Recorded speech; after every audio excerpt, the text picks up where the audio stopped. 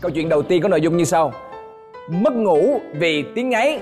À, chắc chắn là phải có cái chuyện này rồi. Ôi vanessa. Chào em. Chào anh. Um, dạ có một người này em quen sau đó mới sống chung à, 6 tháng. Mà trong vòng 6 tháng đó có rất là nhiều chuyện vui giống như mình có một cái bạn thân mà đi giống như làm việc chung đi chơi chung đi tập thể dục chung thì nó cũng có nhiều cái vui của nó. Mình sống chung á mà vui vẻ ok. Mà lúc khi mình mất ngủ mỗi ngày á là không có được ok. rồi còn thế lúc đó thì Vanessa xử lý như thế nào khi mà cứ ngày nào bạn ấy cũng ngáy như vậy rồi cuối cùng sao? Giống như nhiều lúc cảm cái cảm giác á là giống như mình rất là tức lúc khi mình mình ngủ giống như mấy tiếng là mình ngủ không được vì cái tiếng ngáy đúng không? Nhiều lúc mình cũng muốn đạp qua hàng bên giống như đạp người ta xuống giường luôn á.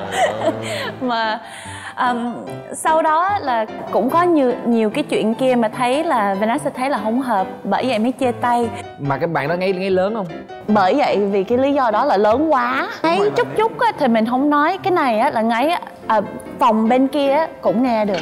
Thế à mình Mình đã sao ngáy lại ngáy của bạn đó được không? mà ngáy dễ thương bạn gái em ngủ bị ngáy á cái em ngậm ngậm ngắm trời dễ thương. Trời cưng dễ thương hơn nếu mà mình thu âm lại xong rồi cái mình quay hình mình post lên facebook. Ồ làm hoài. Thật vậy luôn hả? Ủa mà sao lúc đó em không nghĩ phương phương án là ngủ khác phòng hay gì đó? Có. Có luôn. Hết luôn. Đi bác sĩ đi um, ngủ ngủ riêng phòng. Có hết. Tới mức độ á là ảnh phải ngủ ở dưới lầu. Là tại vì nó ồn quá mà cũng có đi mua máy móc cũng chịu khó mà giống như lúc đó Vanessa cảm thấy không có gần Vanessa không có muốn giống như cả cuộc đời á cả cuộc đời là phải xa lạ như vậy sống với nhau chung vậy nó không có vui vẻ được nó không có hạnh phúc được. Mệt nó rất là mỏi bị stress. Tại vì thật ra là nếu mà cái chuyện đó mà xảy ra ngày một ngày hai thì không nói nhưng mà nó kéo dài từ ngày này qua ngày khác thì bản thân mình cũng rất là mệt mỏi và từ cái mệt mỏi nó sẽ dẫn tới những cái câu chuyện khác nữa. Và nó cũng là một trong cái nguyên nhân mà có thể làm cho một cái mối quan hệ nó không thể tiếp diễn được. Thì cái chuyện này cũng có thể hiểu được. Nói chung là cũng không anh tại vì thực ra tụi anh chưa gặp nhưng mà đúng là nếu mà như em kể mà đi bác sĩ rồi mà ngủ khác phòng rồi mà thậm chí là người trên người dưới nữa thì đúng là nó nó có sự xa cách quá đúng rồi. trong một cái mối quan hệ. Mà biết sao không? Mà ngày đều mà giống trường hợp mà Vanessa thì cái đó rất bình cái đó không, không phải là rất bình thường mà là cái đó là vừa rồi. Tại vì nhiều khi cũng nhiều người mà nó không phải là ngáy đều mà thế này. Thế nên là ngày đều đúng không? Ngáy đều đúng không? Nhưng mà cũng nhiều người mà ngái mà giống như sắp chết rồi. Là giống vậy á. Giống vậy á. Rồi tự nhiên tự nhiên dừng lại. Trăm ba hoặc là mấy phút đó.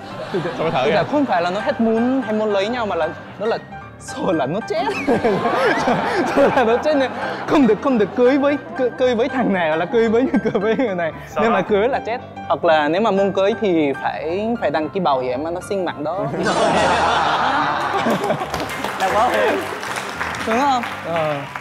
Ok thôi nói chung là chúng ta chỉ biết cái câu chuyện ngáy thôi chứ còn cái câu chuyện xa hơn thì Căng thẳng quá. khó. Đó hôm nay thêm đi mặc đồ đen nữa.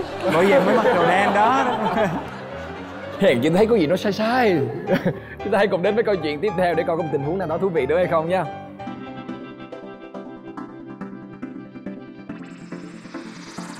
Câu chuyện thứ hai. Ủa nó vui mà. Thoải mái xì hơi. Vui tôi nghe chuyện của ông này quá? Gia phải không? Phải câu chuyện của em không? Mà em sẽ kêu vui. Lần trước em ở rồi thì lần này phải không? Ý là ý là em thấy nếu mà mình yêu nhau rồi thì mấy cái chuyện mình phải biết chứ ai mà không thì hơi. Dạ thì cái chuyện này là chuyện của em rồi mà cái vấn đề ở đây á cái người xì hơi không phải là em mà là bạn gái em. Ủa dễ thương mà. Ê, ủa em lên chương trình em nói xấu bạn gái hả không khi mà dọn về ở với à, người bạn của mình á ba tháng đầu á thì vẫn rất là suôn sẻ cái một ngày đẹp trời. Thì tự nhiên thật ra là em nghe cái âm thanh đó rồi. Em nghe một cái tiếng đùng. Đùng luôn hả? Đùng luôn hả? Không phải biết là đùng nhưng mà cái tiếng đùng Nhưng mà- lắm không? em em nghĩ là chắc là kìm không được thôi nên em cũng kiểu mắt nhắm mắt mở tay tay này lọc ở đó kia. Không không thường là lớn tiếng thì sẽ không có mùi. Dạ. Còn đánh đánh du kích đó. nó mới có mùi. Có kinh nghiệm. Pháo nổ là pháo không không có mùi đúng dạ không? dạ đúng rồi. Cái sau thấy một sáng đẹp trời em đang nằm vậy nè ấy đứng dậy và cái đầu tiên bạn là vươn vai và sau đó là nổ như kiểu là gần như ngay mặt em luôn. Và em không một cái tiếng rất êm chứ không có đứt quãng như vậy. Là, là bắn là liên thanh rồi. Thì em mới nói là ủa làm cái gì vậy? Nói cái sao bạn nói rất tự nhiên? Ừ em địch. Ừ anh đẹp cái là em mới nói là sao em không vô toilet đi? Sao kêu ủa có gì đâu hôm bữa anh đâu nói gì đâu. Em mới nói là hôm bữa là là không muốn nói chứ mà là không nói. dạ em em nghĩ là tai nạn nhưng bữa bạn đấy em cũng chả biết là tai nạn hay không nữa nhưng mà thấy rất là kỳ nhất là con gái nữa. Thí dụ như em, không phải là em trọng nam khinh nữ nhưng mà kiểu người ta người ta đánh giá một người phụ nữ thường là qua cái duyên dáng của người phụ nữ. Mà dù là có chung với nhau đi chăng nữa mà tự nhiên mấy cái chuyện đó nó thiệt là em bị tuột mút thiệt. Trời ơi mấy cái đó dễ thương vui lắm luôn. Không anh nghĩ là em đỡ bây giờ phải nghe chị A chia sẻ nè chị A là chuyên gia chùm mền chơi trò luôn.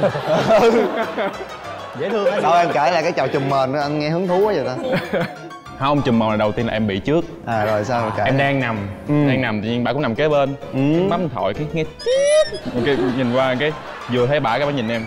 Bà lấy cái mệnh bà chùm em lại bà để em trong đó. Em thích em em. Buông sau đó bỏ ra cái làm gì luôn nè mọi người hiểu không?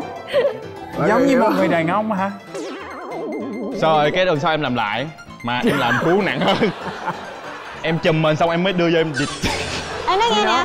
Nhà bạn ở đâu vậy? để tụi mình biết tránh nó không có qua chơi. It's like that. He's saying touch other Ờ, không mà đối với em cái chuyện đó giữa hai người với nhau rất là dễ thương ra đường thì sao không được. Về nhà thì mình với nhau mình thoải mái là là tốt nhất.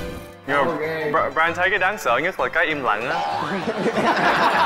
Không, không được sẵn sàng không, tinh thần luôn á. Nó tự nhiên mình phải lại mà không tiếng không cảnh báo. Giải tán đám đông bị tấn công cái mùi à, khả năng đẩy tấn đông rất là cao. Không nhưng em em chỉ muốn hỏi mấy bạn nữ thôi. Quan điểm của mấy bạn nữ thế nào? Bởi vì em cá nhân em thấy con gái mình như vậy thì hơi bị em muốn hỏi nữ nào thì em cứ hỏi thoải mái đi.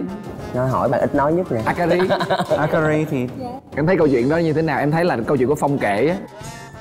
Em thì thích thoải mái. Về tim em. đấy một người, một người thoải mái để em trả lời em hỏi tiếp đi còn bao nhiêu nữ đây? Hỏi tiếp luôn đi. Như ha thôi cô này có vẻ thoải mái nhưng mà không phải ý là bận đồ có vẻ chất chất cá tính nhưng mà không biết là ý, ý kiến của em thì sao? Em thì ờ, khi nào mình đến một cái mức độ thân nào đó thì cứ chơi đi gì đấy thấy chưa? Trời luôn vui mà. Anh thấy bình thường giống như là nếu như thật sự là không phải là gì là bừa bãi hay là cố tình vô mặt người ta hay là chọc ghẹo người ta. Nhưng mà ví dụ như là nếu như mình ở trong phòng của mình với người yêu của mình thì hi- chuyện đó hiển nhiên rồi ai cũng phải xì hơi. Vậy đúng không? Ai cũng phải xì hơi thôi. Ý là Kyle không phải là một người khẳng định là người ta nên như vậy Nhưng mà thực sự là nếu như vô tình Đôi khi là mình không biết được Rồi cái tuột xong rồi là mình không biết là đúng không? Mình đâu mình đâu có cố tình mình không muốn như vậy mà nó nó lại nó lại nó là bất cần trào nhưng mà GA là cố tình trùm mền người yêu rồi. Không, em thấy là bị này cố tình trước nha mình- em thấy trả thù mình rồi. kiểm soát được mà cái chuyện mà mình xưa mình kiểm soát được mà trừ khi là bạn bị có vấn đề về bao tử các kiểu. Không thì cái vấn đề là do do quan điểm của mọi người thích hay không thích thôi. Nhưng mà trinh thì sao? Trinh thấy cái chuyện đó có nghĩa là bạn trai sao cũng được? Trinh thấy cũng dễ thương hết. Tại vì trinh thấy đàn ông như con nít vậy đó rất là thoải mái trinh không có quan tâm đến cái chuyện không có judge không có đánh giá vì khi mà mà lỡ như vậy không sao hết. Nhiều khi trinh còn trùm mình để cho hả trừng phạt lại nữa. Nhưng mà với với trinh á thì trinh sẽ cố gắng hết sức không để mình ờ, phải bị động trong những cái trường hợp đó. Mà mình rất là chủ động kiểm soát. Tại vì theo đúng như tiên phong nói là cái đó là nó một cái nét ờ, cái gì đó giữ cho riêng mình đi. À, dạ, gái. thì nó sẽ tốt hơn. Rồi ok đó là những quan điểm của khách mời. Chúng ta hãy cùng đến với câu chuyện tiếp theo